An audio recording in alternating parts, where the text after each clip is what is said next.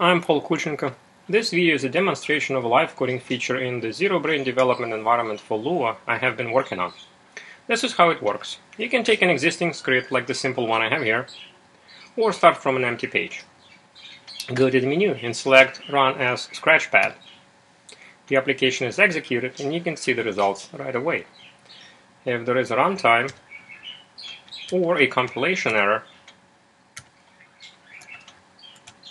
it, it is also immediately shown. So what can you do with it? You can update the code and get immediate feedback. You're not limited to just text output. I have a simple script that draws shapes. You can make changes to the script or you can use the virtual sliders that are added to every number in your script.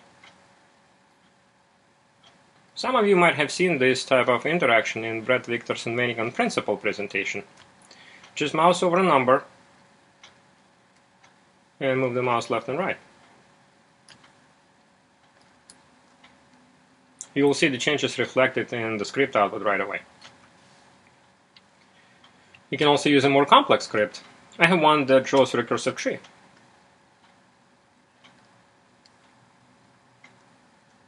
You can manipulate the parameters and see the immediate effect of your changes.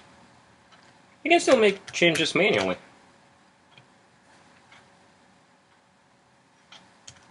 Or you can use the sliders. I think it's fun to use sliders. You get to explore different values. Match faster. In addition to drawing pretty pictures, you can also make math more interactive. For example, this script plots a trajectory in phase space for a system of first-order differential equations. You can also change the parameters and see what impact it has on the result.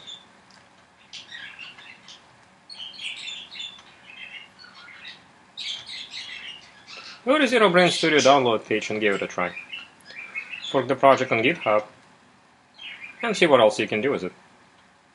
Leave a comment or send me an email with your ideas on where to take this. Thank you.